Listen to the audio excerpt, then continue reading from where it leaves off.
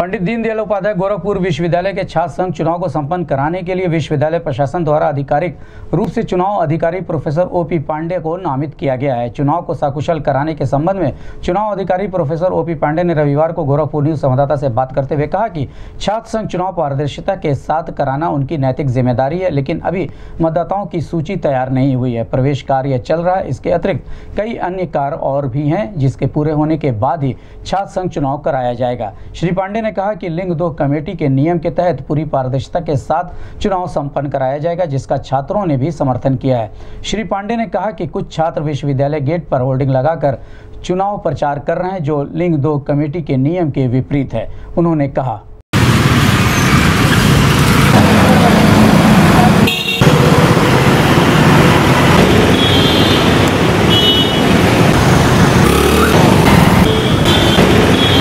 हाँ ये सही है कि कुलपति महोदय ने अ, मेरे ऊपर विश्वास करके और मुझे जो है सन 18-19 के लिए चुनाव कराने के लिए ज़िम्मेदारी दी है और मैं उसका पालन करूँगा।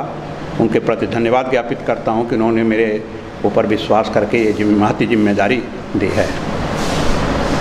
सर कब तक चुनाव करवाने का सोच रहे हैं देखिए चुनाव की तिथि तो अभी नहीं घोषित हो पाएगी, क्योंकि किसी भी चुनाव के लिए मतदाता सूची बनना सबसे महत्वपूर्ण होता है। विश्वविद्यालय में अभी प्रवेश कार्य चल रहे हैं। प्रवेश कार्य जब संपन्न हो जाएगा और छात्रों के परिचय पत्र जब बन जाएँगे तो उसके बाद तिथि घोषित करने में विश्वविद्यालय को भी सुविधा होगी और ये छात्रों के हित में भी है, क्योंकि जिन्हें चुनाव लड़ना है, वो इस दृष्टि से तैयार रहें कि मेरा मतदाता सूची में नाम है, मैं वाजिब छात्र हूँ और मैं चुनाव लड़ सकता हूँ। तो सबसे पहले मतदाता सूची बन जाए मतलब छात्रों के प्रवेश हो जाएँ और परिचय पत्र बन जाए। जो ही ये कार्य संपन्न हो जाएगा तो उसके बाद जिला प्रशासन से औपचारिक रूप से बात करके क्योंकि उनसे सुरक्षा संबंधी मदद लेनी होगी बात करके और चुनाव की तिथि घोषित की जाएगी।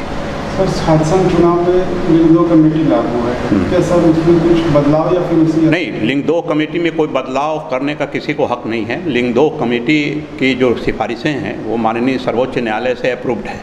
तो उसमें कोई बदलाव नहीं होगा और लिंग दो कमेटी के अनुसार ही चुनाव होंगे। और मैं ये बताना चाहूँगा कि छात्र पहले से ही ये दृढ़ संकल्पित हैं कि लिंग दो के हिसाब से सर आप चुनाव कराइए और उनकी पूरी मदद हमको मिल रही है। ये अच्छी बात है। पूरा- देखिए हर कार्य चुनौतीपूर्ण होता है। अगर आप निष्पक्ष हैं तो कोई चुनौती नहीं है। और अगर आप निष्पक्ष नहीं हैं और छात्रों के हित को नहीं देख रहे हैं तो ये हमेशा आपके लिए चुनौतीपूर्ण है। मैं पूर्व में भी विश्वविद्यालय के तमाम जिम्मेदारीपूर्ण कार्यों को बड़ी सफलता से किया हूँ और जिसमें छात्रों का बहुत सहयोग मिला। इस बार तो मुझे ऐसा लगता है कि छात्र कर्मचारी और शिक्षक सबका पूरा सहयोग मिलेगा क्योंकि ये पूरा विश्वास है कि सब लोग चाहते हैं कि लिंग दो कमेटी के अनुसार चुनाव हो और छात्र अभी से हम हमसे अपेक्षा रखे हुए हैं कि कहीं से कोई अ, पक्षपात नहीं होगा और निष्पक्षता के साथ चुनाव संपन्न कराया जाएगा।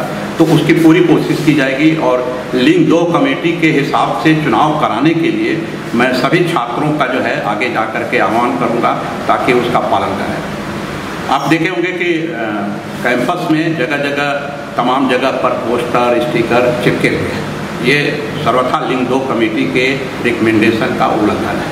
अगर ये चीज़ें रह जाएँगी तो छात्रों में असंतोष बढ़ेगा। मैं छात्रों का आह्वान करूँगा कि जिनके भी पोस्टर, स्टिकर, बैनर लगे हैं, वो हटा लें।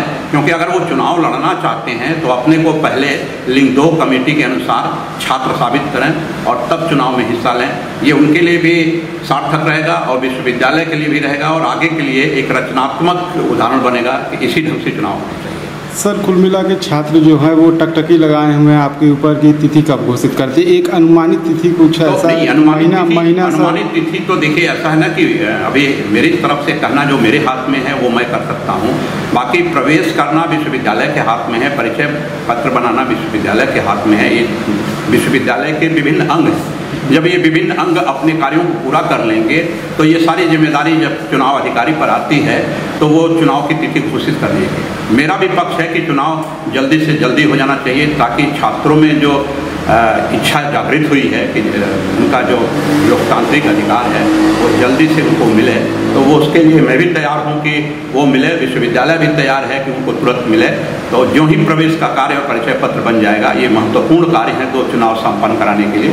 हो जाएगा तो उसके बाद चुनाव की तिथि शीघ्र से शीघ्र घोषित कर दी जाएगी।